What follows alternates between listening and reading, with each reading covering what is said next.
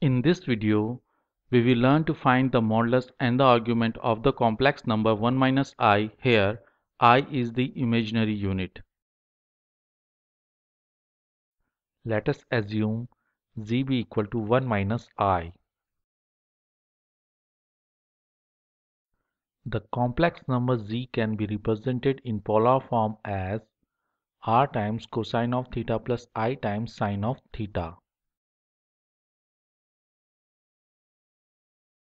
Here r is equal to modulus of z and r times cosine of theta is equal to 1 and r times sine of theta is equal to minus 1.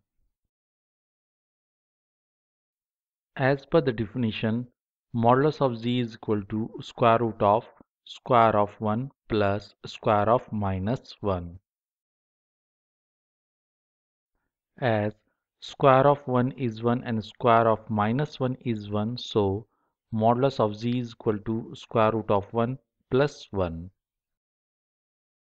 so modulus of z is equal to square root of 2 which is equal to r. As we know r times cosine of theta is equal to 1 so square root of 2 times cosine of theta is equal to 1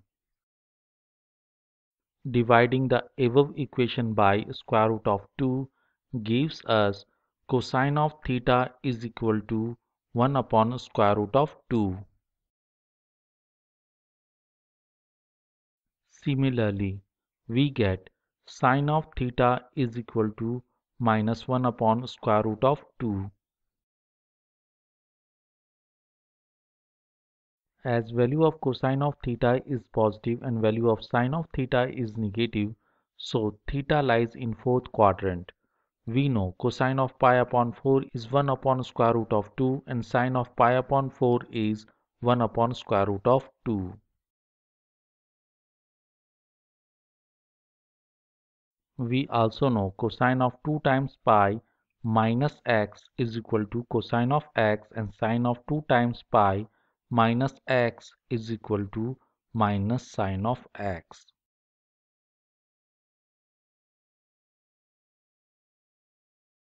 So, above implies cosine of 7 times pi upon 4 is equal to 1 upon square root of 2 and sine of 7 times pi upon 4 is equal to minus 1 upon square root of 2. The polar form of the complex number 1 minus i is square root of 2 times cosine of 7 times pi upon 4 plus i times sine of 7 times pi upon 4. The modulus is square root of 2 and the argument is 7 times pi upon 4. Thank you for being with me. I hope you like this video. Please click the like button and subscribe button. Do not forget to press the notification bell so that you get the notifications of my new videos. Share the video and do write in the comments. I am eager to listen to your thoughts. If you have any question related to video, if you think I should make a video on any other topics in which you are interested, please write in the comments. Thank you.